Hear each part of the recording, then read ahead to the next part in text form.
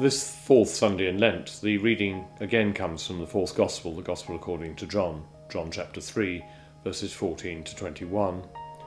This contains at the verse 16 perhaps the most famous verse in the Bible God so loved the world that he gave his only begotten Son.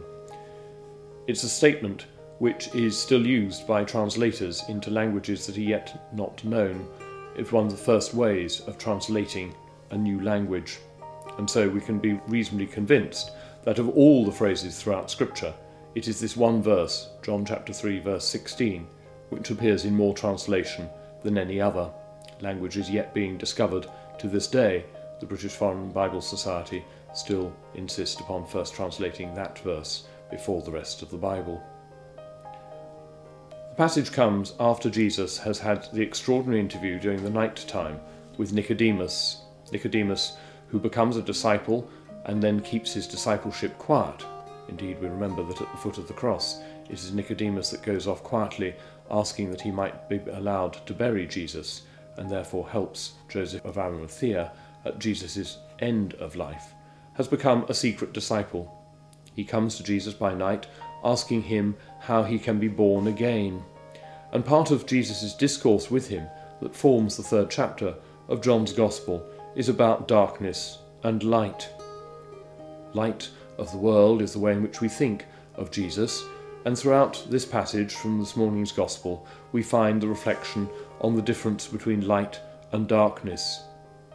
It reminds us almost immediately of the great prologue to the fourth Gospel, John chapter 1, verses 1 to 14, which is traditionally read on the night of the Incarnation at Christmas.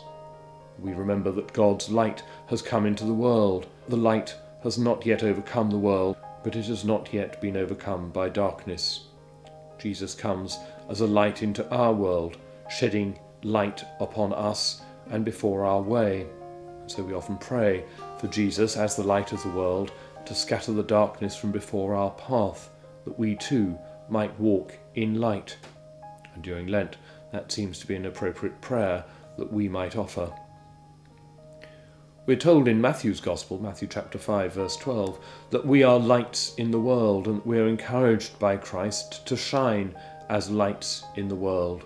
We too should go out. We too should show others something of God's light.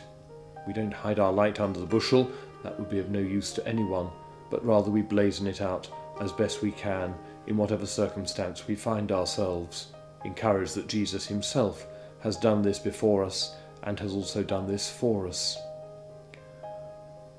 The ancient distinction between darkness as a place inhabited by evil spirits and light being a place of good clearly lies at the heart of Jesus' teaching. This is not to say that in any way Jesus' teaching is somehow secondary to that of the pagan philosophers, but rather to suggest that Jesus accommodated his teaching so that he would be readily understood by a contemporary audience. And even in our own society, I think all of us know places of darkness, whether in our own lives or in the corporations that we see around us, and places of light. And we use a vocabulary that talks about shedding light on difficult subjects of bringing light or bringing to light those things that have been hidden. All of those, in essence, are part of Christ's call to us. If we would seek for truth, and if we would seek to establish God's peace here on earth, we need to bring to light those things that are kept in darkness, whether in our own lives, those things, sins of commission and omission of which we are embarrassed and of which we are guilty, or whether in the society in which we live and work.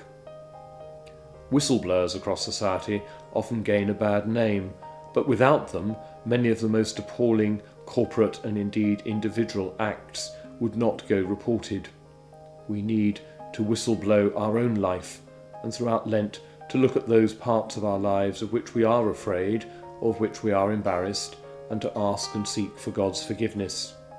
That can be done through the ministry of reconciliation in church, or it can be done privately in our own hearts but it needs to be done if we would be honest in our following after Christ. Christ, who is the light of the world, draws others to him that their light too might be united with his. We cannot follow if we surround ourselves with darkness or if we are unwilling to seek for the light in our own lives.